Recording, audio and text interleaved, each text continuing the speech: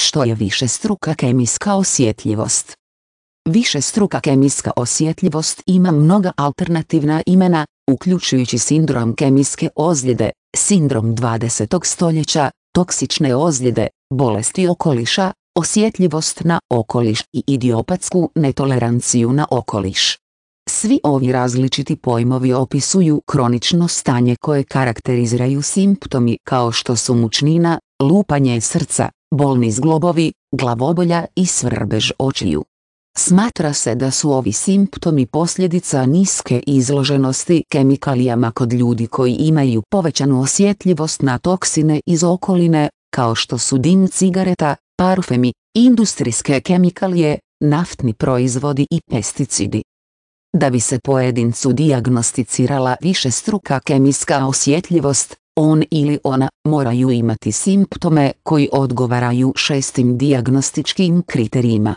Prvo, osoba je morala imati određeno vrijeme. Njegovi simptomi moraju biti ponovljivi, što znači da izlaganje kemikalijama u različitim prilikama ima slične simptome. Osim toga, simptomi moraju biti ponovljivi na niskim razinama izlaganja, a simptomi moraju prestati ili se smanjiti kada prestane izlaganje kemikalijama. Da bi se stanje dijagnosticiralo, Osoba također mora biti osjetljiva na nekoliko različitih vrsta kemikalija.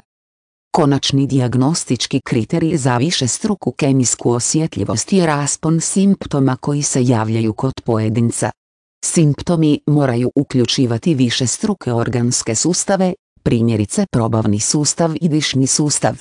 Mogući simptomi mogu biti glavobolja, bol u uhu, svrbež očiju, curenje iz nosa, svrbež grla, pospanost, pospanost ili mentalna zbunjenost, ekstremna anksioznost, napadi panike, lupanje srca, grčevi u trbuhu, proljev, mučnina i uznemireni želudac.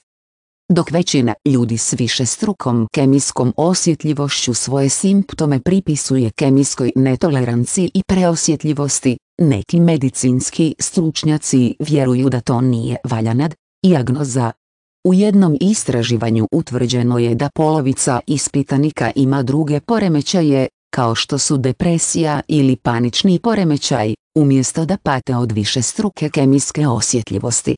U slijepim ispitivanjima pokretanja kemikalija, utvrđeno je da mnogi ljudi nisu potaknuti kemikalijama, nego mirisima, što upućuje na to da njihovi simptomi mogu biti djelomično psihosomatski.